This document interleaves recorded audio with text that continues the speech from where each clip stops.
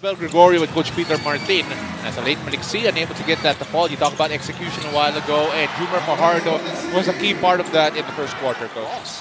Who has yet to register a point here. He's just been doing a lot here that's not seen on the, on the box score as Allein Maliksi attacks. And oh, Brandon Bates with the follow! Third offensive rebound. Here's Allein.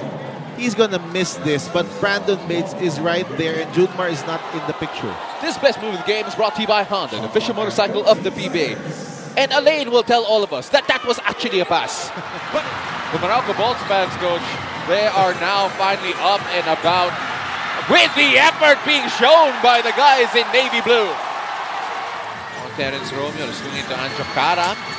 Can't drain the three ball, but take a look at Bates coming in for the offensive rebound. Yousef gives it back to Bong Quinto. On the drive and gets the lay-in.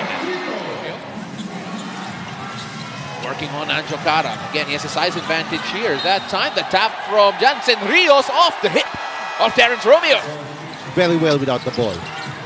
Active hands here for the Meralco Bolts, and it almost results in a turnover. But Junmar gets it inside and blocked from behind by Cliff Hodge. First quarter, 29 points for San Miguel. Only two points here in the second quarter, and we are at the five minutes played here in the second. So San Miguel struggling big time because of that Meralco defense. CJ Perez. When Junmar is on the bench, Here's Banchero working on Brondial. Banchero, the sidestep, the finish.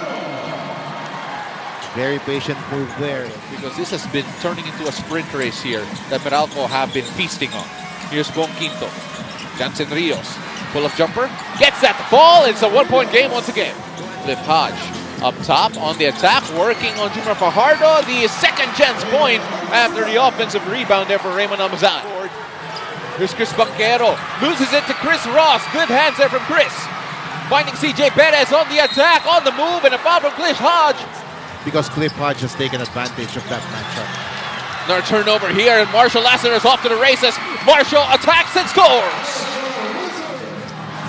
Little bump there from CJ Perez. Chris Banchero felt that. Newsome getting free here, working against Chris Ross. Gets the Oh. bucket and one.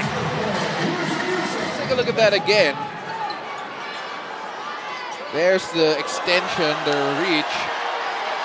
And a part of the crowd are suggesting that it was all ball based on that replay.